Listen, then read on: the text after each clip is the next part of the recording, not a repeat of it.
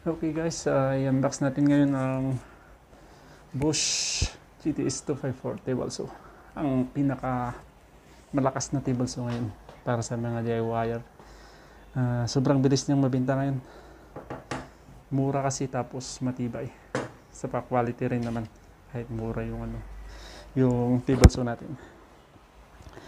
Okay guys, yan yung unbox natin.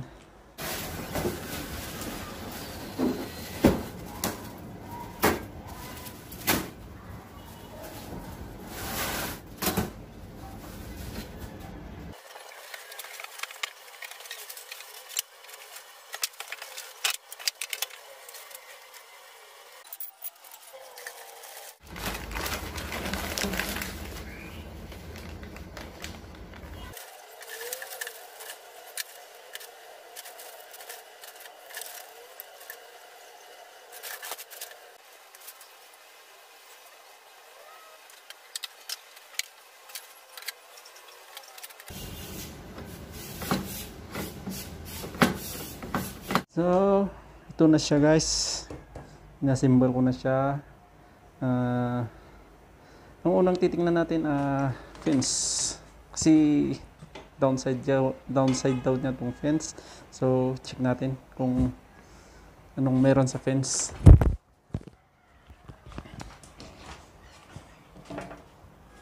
So, ito guys, uh, yan. So, medyo hirap siyang ano, medyo mahirap igalaw. Ayan. Pero sa tamang diskarte, okay naman. Uh, ang diskarte ko lang dito para no.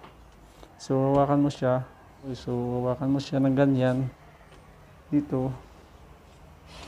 Yan, okay. Okay yung slide niya, di ba? Yan. Okay naman siya. So, kung talagang anuin mo lang siya. So, kung talagang gaganunin mo lang, wala.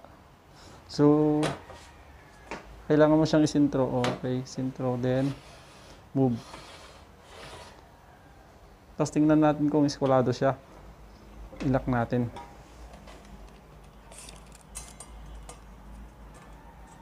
Okay. Tapos nasa 7. Tapos 7 point 7.1 or 7.2 something. Okay naman siya. Eskwala naman. Ginawa ko dito hinigpitan ko ng konti ito. Yan hinigpitan ko ng konti.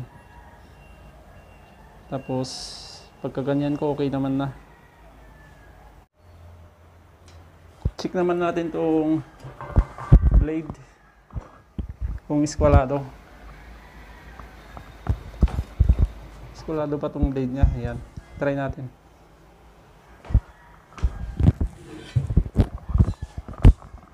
Ito guys.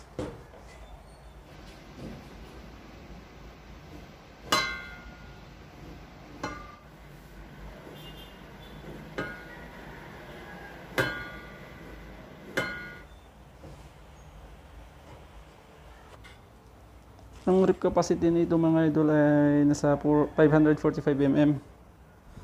Mula doon hanggang dito. Pero i-actual natin. Check natin.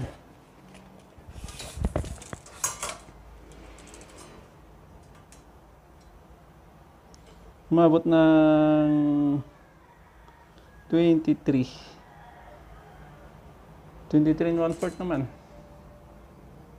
Umabot ng 23 and 1 4 walang nakasagad yun guys. Kaya lang di siya mabot ng 24 sayang. Sayang na sayang.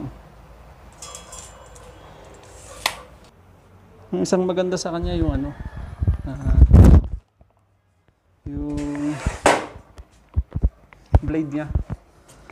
Sobrang ganda ng blade uh, ang blade niya. Nasa, sa uh, yung blade kasi natin uh, expert forward Okay, 40 teeth yung ngipin na 10 inches.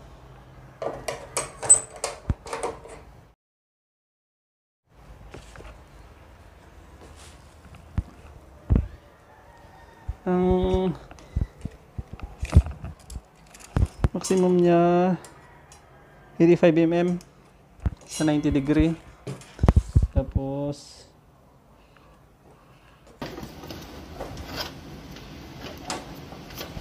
Forty-five. Nasa fifty-seven. Fifty-seven mm.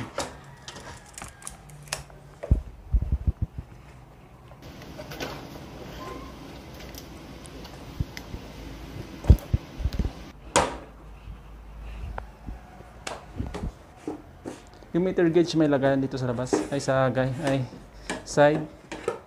Meter gauge. Ito, meter gauge. Pwedeng ilagay dito sa side. Tapos yung wire. Yan.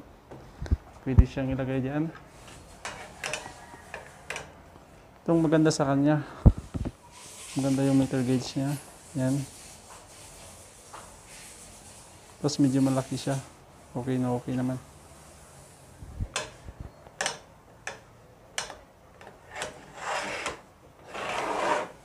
Natin. Kailangan mong calibrate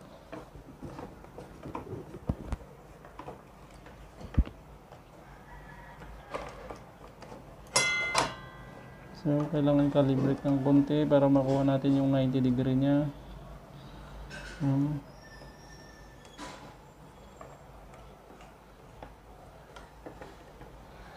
so yan okay na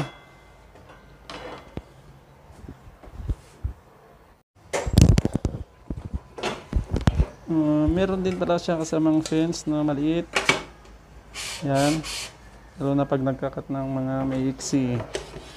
Siya nagagamit. Yan.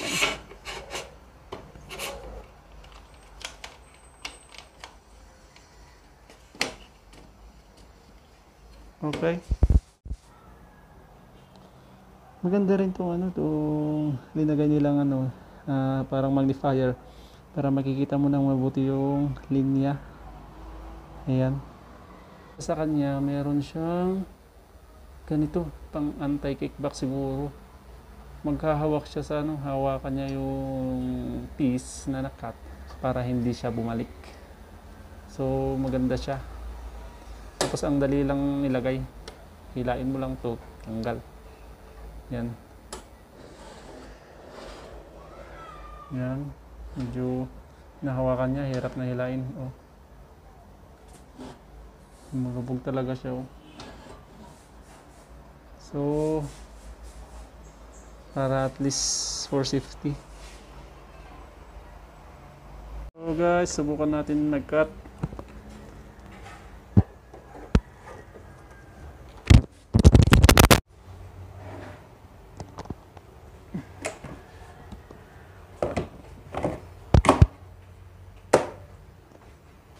So yan guys, ah, subukan natin mag-cut kung gaano kalinis yung kaya ng blade.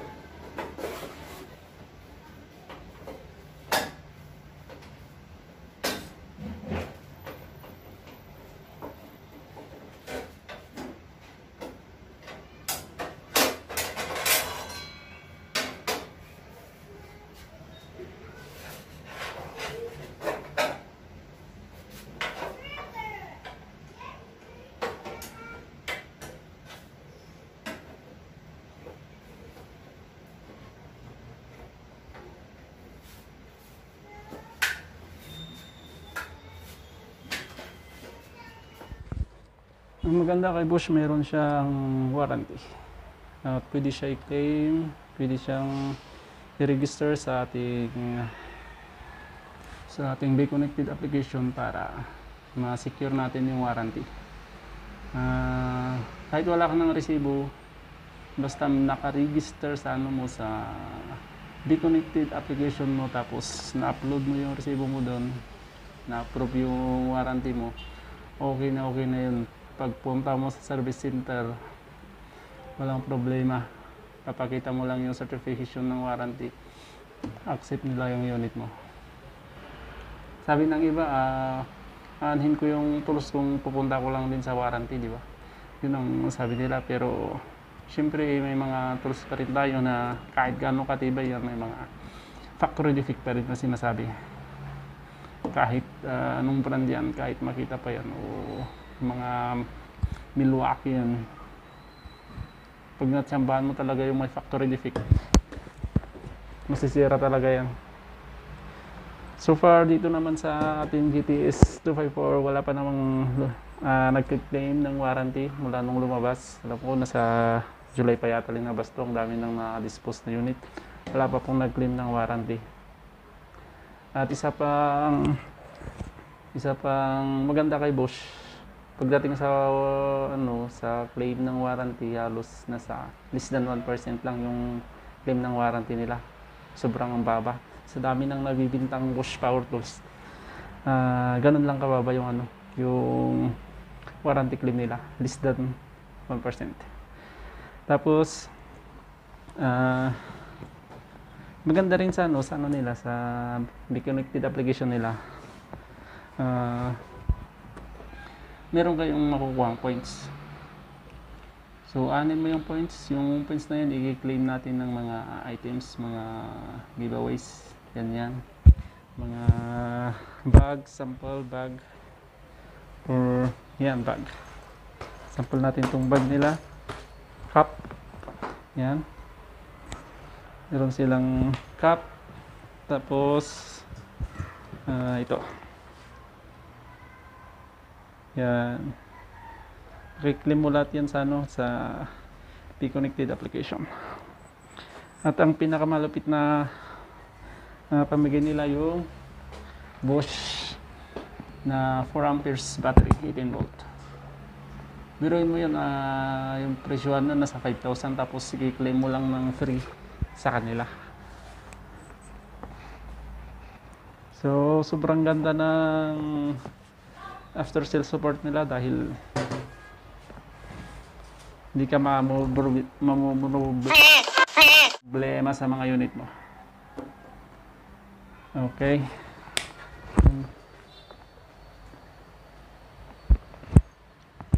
So, yan guys ang ating Boss GTS 254. Uh, sana nagustuhan niyo ang video ito at review ito. At kung nagustuhan mo ito, uh, please like and pa-subscribe na rin po sa ating channel.